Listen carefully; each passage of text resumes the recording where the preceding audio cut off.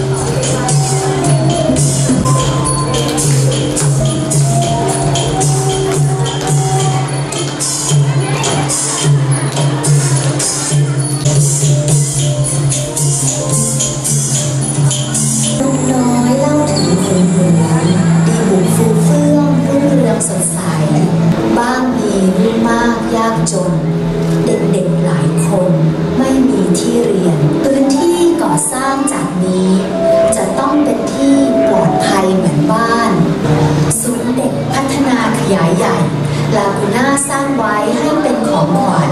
นกน้อยจะเป็นเพื่อนหนูจะเฝ้า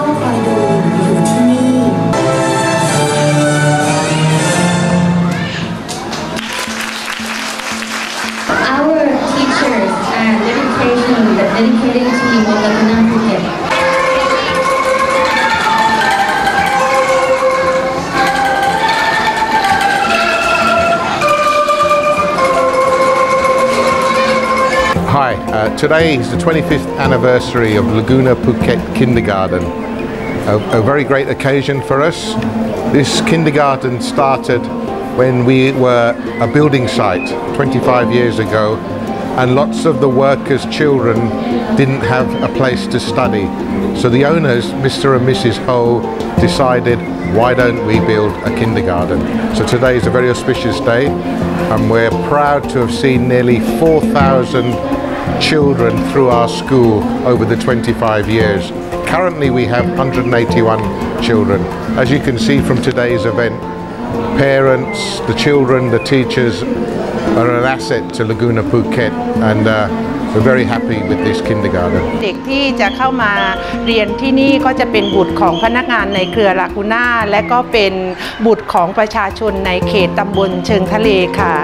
หนึ่งวันในโรงเรียนที่เด็กเข้ามาในโรงเรียนอนุบาลลากูน่านะคะ นักเรียนก็จะได้รับพัฒนาการทั้ง 4 ด้านนะคะ คือร่างกายอารมณ์ สังคม และสติปัญญานะคะ นักเรียนมีจิตวัตรประจำวันเพื่อที่จะเรียนรู้นะคะอยู่เล่นกับเพื่อนอย่างมีความสุขที่นี่จะ มีการเรียนปนเล่นนะคะ และก็ฝึกเด็กให้มีจิตสาธารณะช่วยเหลือเพื่อนๆ และก็เพื่อเขาโตต่อไปในอนาคตจะได้เป็นคนที่ดีในสังคมต่อไปค่ะ คือบนพื้นฐานนะคะ ชอบโรงเรียนด้วย เพราะว่าเป็นโรงเรียนเล็ก ๆ ขนาดเล็ก แล้วก็คุณครูดูแลเอาใจใส่นักเรียนได้เป็นอย่างดีค่ะ